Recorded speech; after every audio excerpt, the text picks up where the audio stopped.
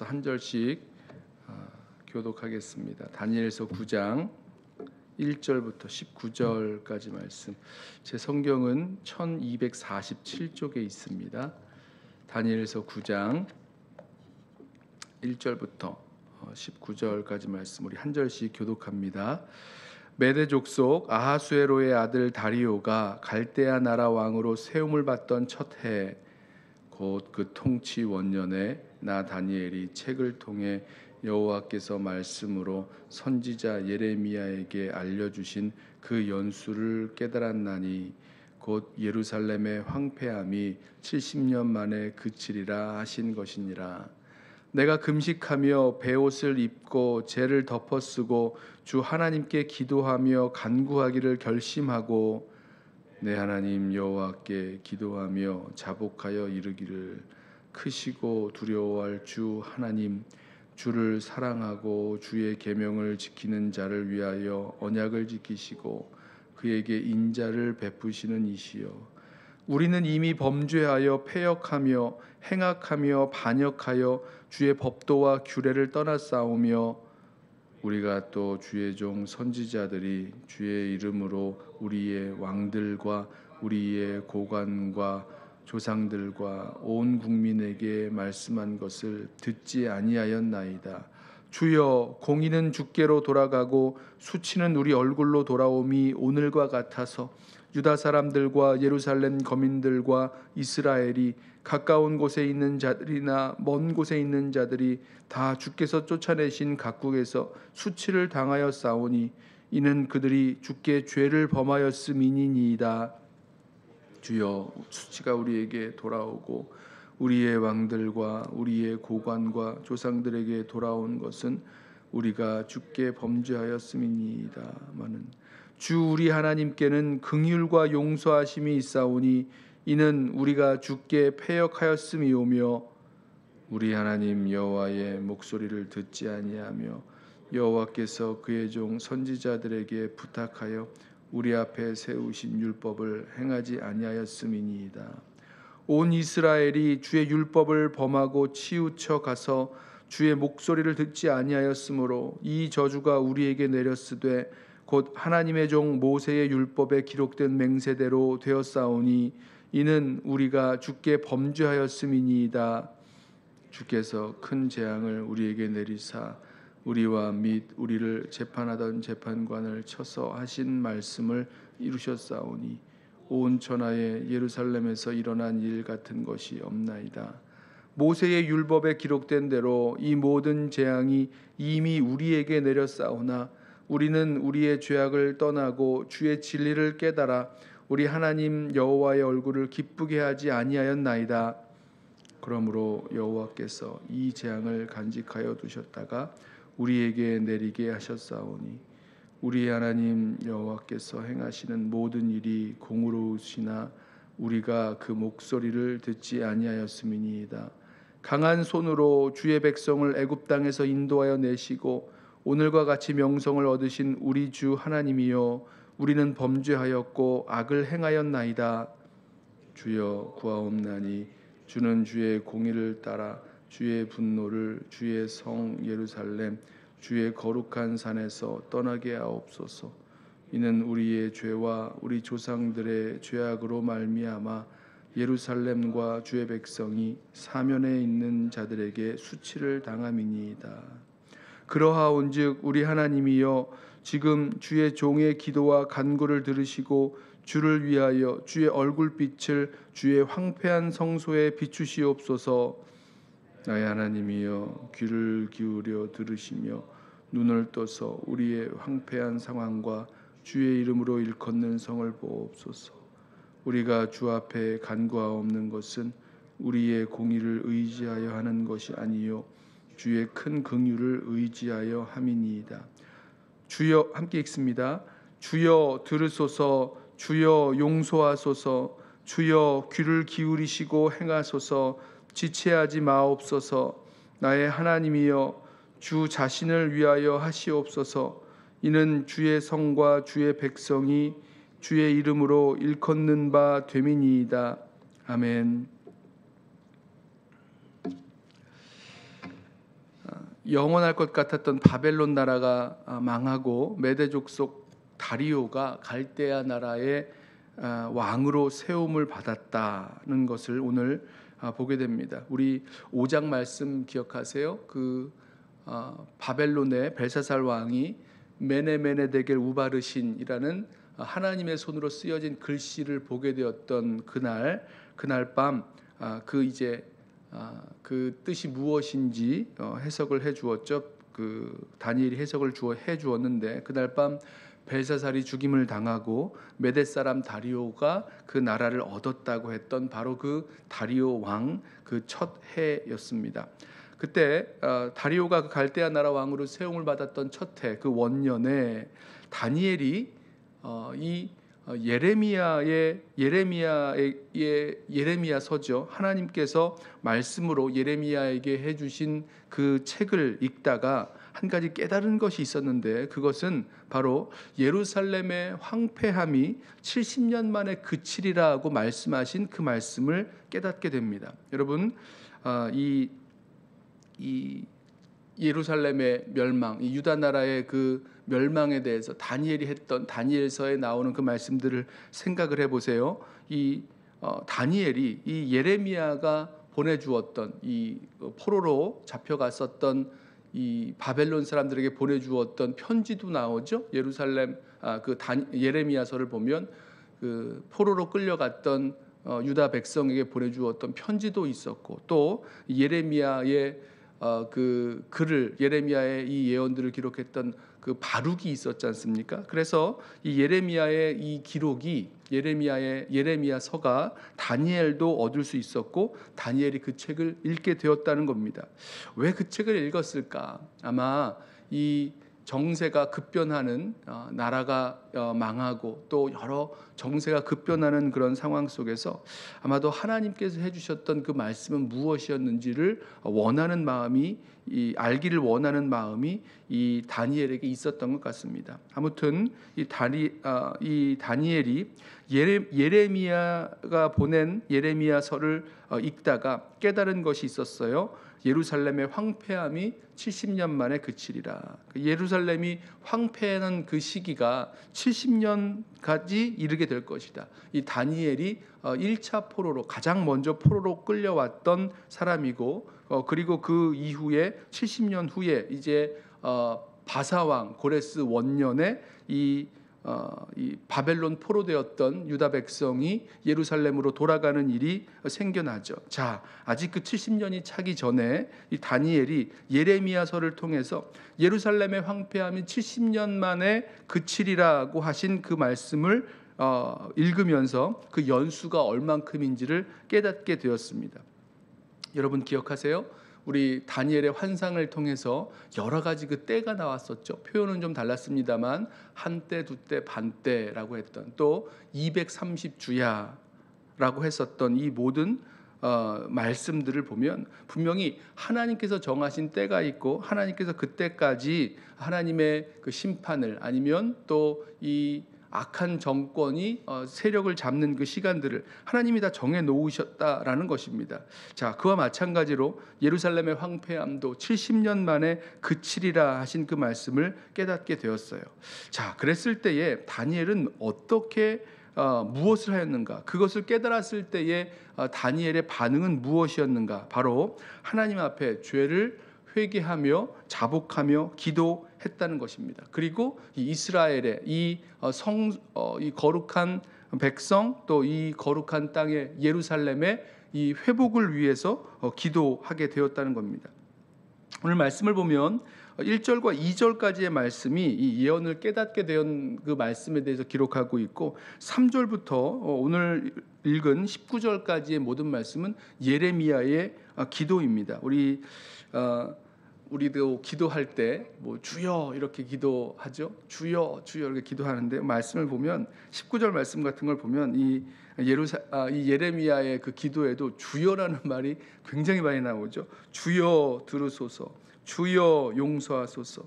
주여 귀를 기울이고 행하소서. 지체하지 마옵소서.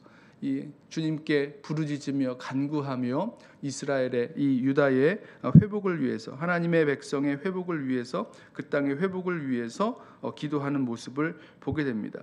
저는 이 말씀을 이제 보면서 어, 이, 이 다니엘이 몇 가지를 깨달아 알게 되었다라고 말씀하고 있는데 물론 이제 연수를 깨달아 알았다라고 말씀하고 있는데 한 가지 중요한 사실 이 기도의 내용을 보면서 다니엘이 깨달아 알게 된 중요한 사실 하나는 하나가 있을 있었다라고 생각을 합니다. 그것은 이스라엘 백성이 포로로 어, 어, 유다 백성이 포로로 바벨론에 끌려오게 된 그 이유가 바벨론 나라가 강했기 때문에 아니면 이스라엘 나라가 약했기 때문에 유다 나라가 약했기 때문에 강한 나라가 약한 나라를 이렇게 뭐 어, 침략하고 정복하고 다스리고 그래서 다 뭐 포로로 끌어가고 국제 정세를 봤을 때는 그렇게 해석할 수 있지만 그것이 아니라는 것을 알았다는 거죠. 무슨 말씀입니까? 오늘 말씀을 보면 이스라엘 백성이 이렇게 어, 그 아, 하나님께서 약속하신 땅 또 하나님께서 말씀하신 그곳 어, 성소가 있는 성전이 있는 예루살렘에 있지 못하고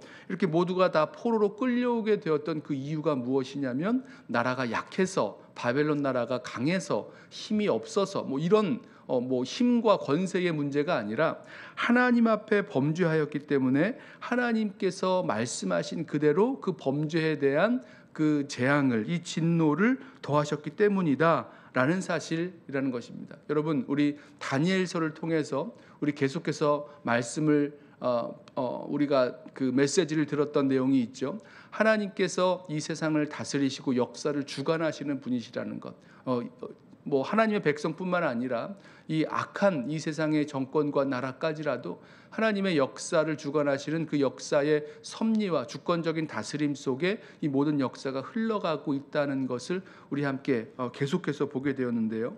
이스라엘 백성에게 일어났던 이 어, 포로가 되는 이 일들도 마찬가지로 어, 보게 되는 거죠. 어떤 나라가 강해서 어떤 나라가 힘이 없어서의 문제가 아니라 바로 하나님께서 하나님의 그 다스림 가운데 하나님의 백성의 범죄함으로 말미암아 하나님이 그 어, 말씀하신 대로 율법에 말씀하신 그대로 이 죄에 대한 그 하나님의 진노를 그대로 적용하셨다라는 것을 우리 보게 됩니다. 아, 또 한 가지는 우리가 이 다니엘의 기도를 통해서 어, 보게 되는 것은요. 어, 이 하나님께서 정하신 때가 있지만 하나님의 말씀을 통해서 어, 말씀을 통해서 그 정하신 때를 알았을 때에 우리가 기도를 통해서 하나님의 역사에 참여하게 된다는 사실입니다. 여러분 한번 생각을 해보세요. 아직 그 하나님 말씀하신 이스라엘의 이 예루살렘의 황폐함이 70년 만에 그치리라 한 그 70년이 되지 않았을 때입니다. 그렇죠? 아직 바벨론 바벨론 포로로 어, 끌려와 있던 이스라엘 백성들이 바벨론에서 여기저기 흩어져서 살고 있었던 바로 그때에 이 70년이 되면 하나님이 다 회복시켜 주시고 다 포로에서 돌아오게 하시고 뭐 이 모든 일들을 다 이루어 나가실 겁니다. 자, 그런데요. 그렇게 되면 그냥 다니엘이 아, 그렇구나. 이제 몇 년 안 남았구나. 이제 다 되었구나라고 생각하면서 기다리면 될 터인데 그렇게 하지 않고 하나님의 말씀을 깨닫고 그 말씀을 붙들고 기도하게 되었다는 겁니다. 여러분, 하나님이 다 하실 건데 우리 그냥 가만히 있으면 안 되나요? 하나님이 모든 것 다 하실 거니까 하나님이 이스라엘 백성들을 포로에서 어, 유다 백성을 포로에서 해방시키셔서 다시 바벨론으로 아, 어딥니까? 예루살렘으로 돌아가게 하실 것이고 모든 것을 다 그 황폐함을 회복시켜 줄 것이니까 우리는 그냥 가만히 기다리고 있으면 되지 않을까 라고 생각을 할 수가 있는데 그렇지 않다는 거죠.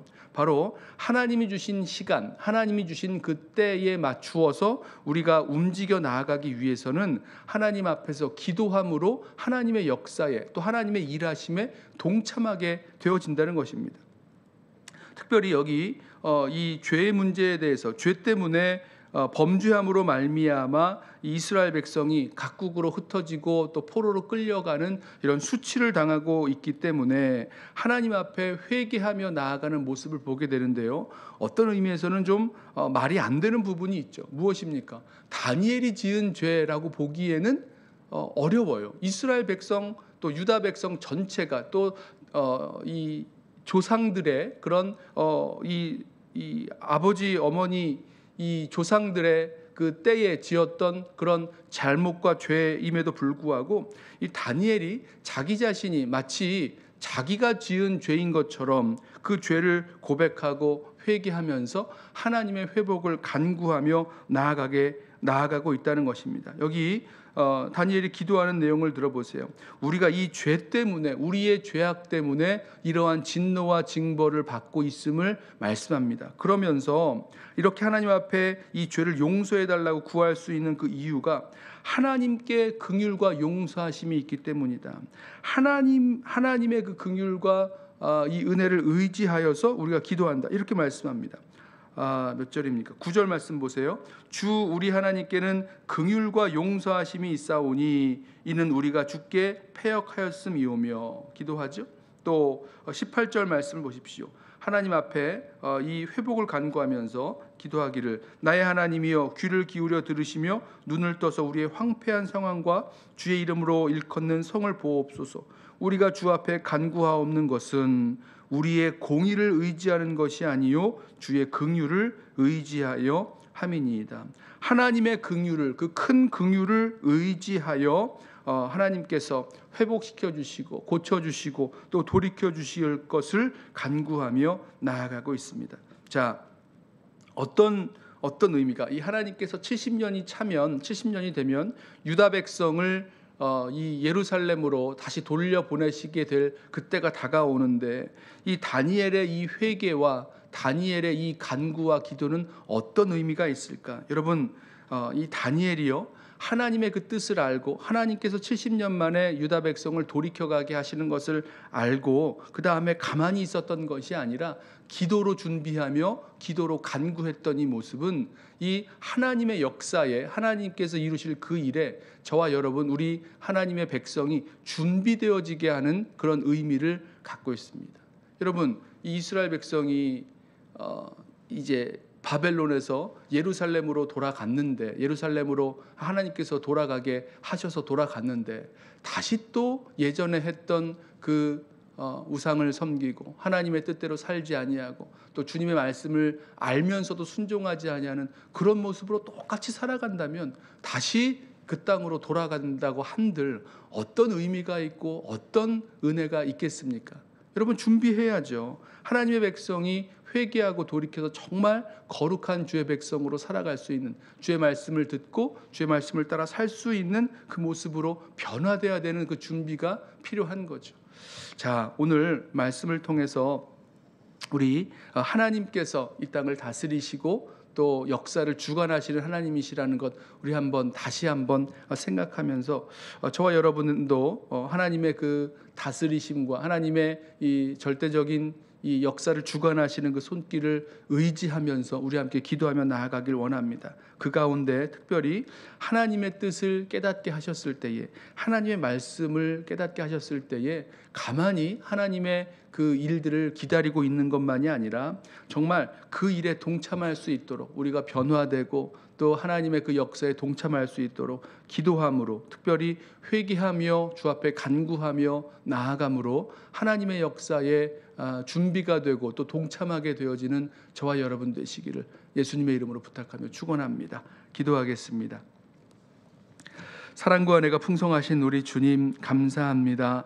죄로 말미암아 죽을 수밖에 없고 죄로 말미암아 아, 하나님의 진노 가운데 거할 수밖에 없음에도 불구하고 주님의 긍휼과 용서하심을 의지하여 주님 앞에 회개하고 나아갈 수 있는 이 길을 열어 놓으신 주님 감사합니다. 주님 다니엘이 어, 이스라엘의 예루살렘의 황폐함이 70년까지 어, 계속될 것을 알았을 때에 어, 회개하면서 또 주님 앞에 간구하면서 나아갔던 이 기도처럼 주님 우리 주님의 다스리심을 온전히 인정하고 또 주님 앞에 회개하며 또 함께 기도하며 나아갈 수 있는 주의 백성들 되게 하여 주옵소서.